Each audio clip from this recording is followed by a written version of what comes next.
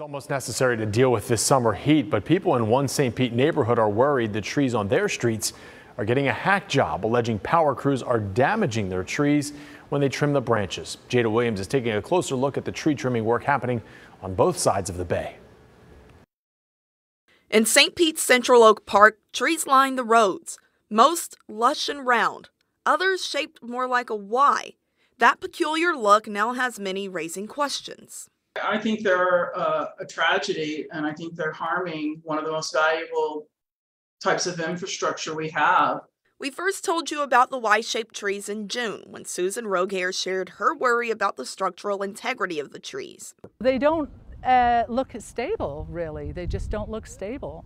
A spokesperson for TECO told us power companies cut the trees for hurricane season, since fallen trees are the leading cause of power outages. I asked Florida Gulf Coast University biologist Brian Bovard if trimming helps. I felt like after Hurricane Ian, there were a lot of places where, had we not had Irma and the intensive trimming that took place following that hurricane, that when Ian hit, we would have been in a much worse place. But Carol Ann Bennett with the Tampa Tree Advocacy Group doesn't see how the shape of the tree protects the power line. If you look at the way a lot of these trees are cut, I look at them and I'm like, well, I don't see how this solves the problem of preventing the lines from being from being taken out if the tree falls. Bovard adds that trees are resilient and cutting them into the shape of a Y likely won't cause harm.